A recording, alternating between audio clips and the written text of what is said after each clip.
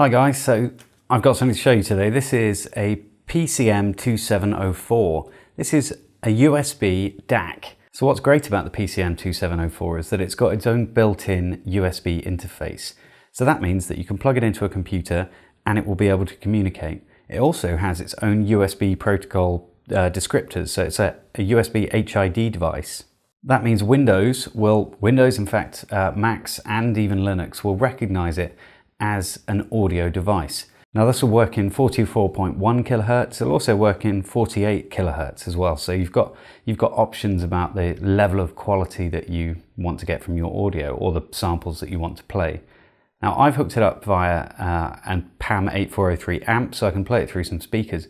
But you can also have it as a headphone interface. So just rip that amp out, and then it's powerful enough to drive a set of headphones. So all I need to do is plug the device in click play on some audio, and then we get some wonderful little, is this sort of jazz or something?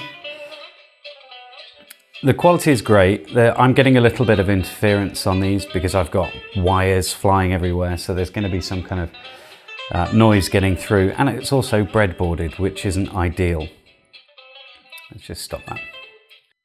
So if we look in the devices on the computer, you can see that it's detected as speakers USB audio DAC default device. We can have a look at the properties and we can see that we can select these options here. So we've got 32 uh, kilohertz, we've got 44.1 and 48 we can select. They're all 16 bit. The circuit I'm using is straight from the datasheet. So here's the datasheet here. We can see that it's got various details about uh, having a bus powered application. So this one is bus powered, so I'm feeding the PAM8403 from the USB uh, supply, but it's also powering the device itself. You can have battery powered devices which are less noisy than the USB line. So if I jump down to the circuit schematic that we're using at the moment, it's this one here. Uh, the typical circuit connection one example of a USB speaker. Now they're using one of the TPA amplifiers, but I'm just chosen a uh, PAM8403 because it's what I've had to hand. And they also sound pretty good. Uh, so you'll need a, uh, a 12 megahertz crystal. There's various capacitors and resistors. Some of the ones that I didn't have were the um, one microfarad thin film, uh, or is it multi-layer, multi-layer capacitors.